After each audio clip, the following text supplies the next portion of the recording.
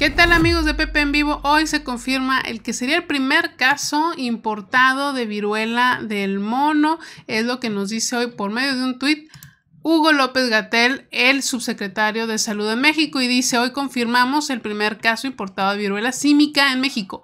Es un hombre de 50 años, residente permanente de la Ciudad de, México, de Nueva York, quien probablemente se contagió en Holanda, se atiende en la Ciudad de México y continúa en el hilo donde dice, afortunadamente se encuentra estable y en aislamiento preventivo, esperemos que se recupere sin complicaciones y para terminar dice, la viruela símica se transmite de persona a persona por contacto directo, no se propaga en el aire, agua o alimento. La eficacia o la eficiencia del contagio es baja, o sea que es muy mala para contagiarse, por lo que generalmente se presentan casos aislados o pequeños brotes, no epidemias generalizadas. Les voy a recordar cómo se ve esta enfermedad, nada más para que lo tengan muy presente cuando anden en la calle. Digo, la verdad es que va a ser muy raro, muy raro que alguien vaya a traer esto en la calle, ¿verdad? Porque no nada más se ve en, en las manos, sino también se ve en el rostro, entonces sería la verdad complicado pasar desapercibido si tienes esta enfermedad. Y pues bueno, eso llegó en avión, como les comentábamos el otro día, la única manera que llegue es alguien que viaje a Europa porque no es tan fácil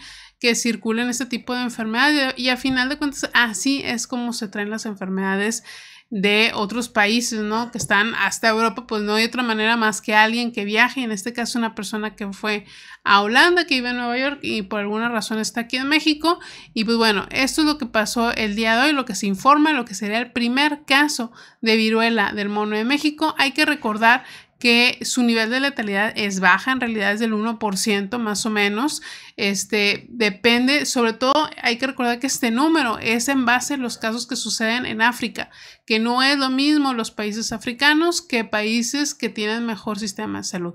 También, ¿cuáles son los primeros síntomas? Porque es bueno tenerlo presente, sobre todo si tenemos contacto con personas que viajan mucho en el extranjero. Es eh, fiebre, dolor de cabeza, dolor muscular en la espalda. Y en cuestión de las erupciones cutáneas, o sea, esas lesiones que salen, salen después de tener estos primeros síntomas. Estos más o menos duran de dos a cuatro semanas, depende de la, persona, de la persona, obviamente.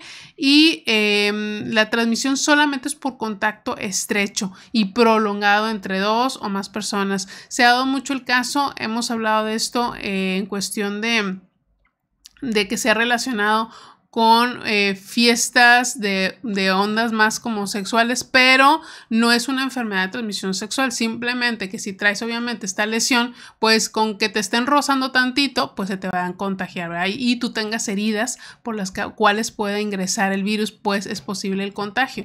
Este es una enfermedad afortunadamente que no es para una epidemia ni para una pandemia. Son casos que se pueden controlar siempre y cuando haya la precaución, la detección a tiempo por parte de las autoridades. Y bueno, aquí en México ya tenemos varias, eh, varios días donde se lanzó esta alerta de estar muy pendientes tanto en hospitales privados como en públicos en caso de que alguien apareciera con estas lesiones. Y bueno, ya se da el primer caso.